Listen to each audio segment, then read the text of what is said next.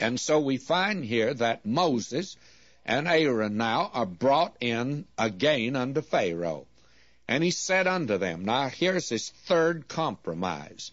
Go serve the Lord your God, but who are they that shall go? And Moses said, We'll go with our young, with our old, with our sons, with our daughters, with our flocks, and with our herds will we go, for we must hold a feast unto the Lord. And he said unto them, Let the Lord be so with you as I will let you go, and your little ones look to it, for evil is before you. Not so, go now, ye that are men, and serve the Lord, for that ye did desire, and they were driven out from Pharaoh's presence. The compromise now is this Moses, you go on out in the wilderness with the man, with the adults, but you leave the children in the land and you go out without them. Well, Pharaoh, I think, suspected that if they got three days in the wilderness, they would keep going. And so he wants to stop that, and he knows if he keeps the children, they'd not run away. They would come back for their children. Now, this again has a corollary. It's a pattern for believers today. I think that uh, as Pharaoh tested and tempted this man Moses, with a compromise, that the child of God is today tempted with a compromise. In fact, you will find these four compromises parallel in the Christian life. Now, first of all, of course, is be a Christian, but don't be narrow. And then you be a Christian, but don't go too far in this. If you insist on doing certain things, well, don't make a practice of it. In other words, compromise.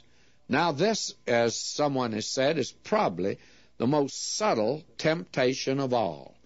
In other words, there are a great many people are told today, and a great many Christians.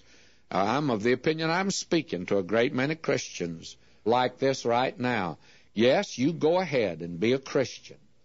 But remember that your children are being brought up in the world in Egypt and you want to prepare them for Egypt. So that today we have a great conflict in the average Christian home. I've seen this again and again.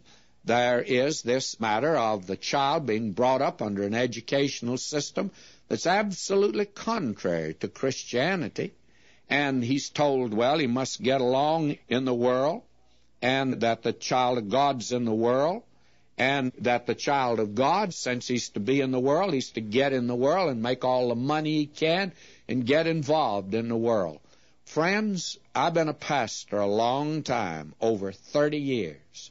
I haven't learned very much, but I've learned a few things.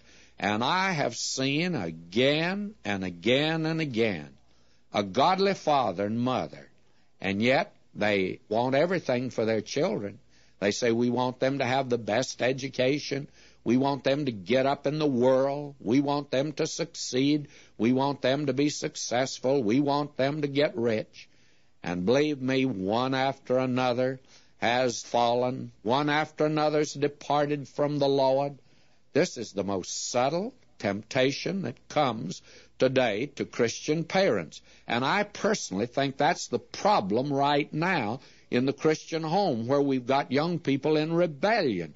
What did you expect, my friend, when you sent them to these worldly institutions and he came home one day, a hippie or something even worse, and you say, my, how could he do that brought up in a Christian home? He did that because actually he wasn't brought up in a Christian home.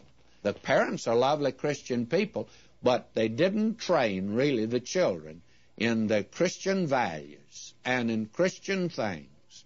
They were so anxious and ambitious for them to get on in the world, and they've lost them. Oh, how they have been lost today.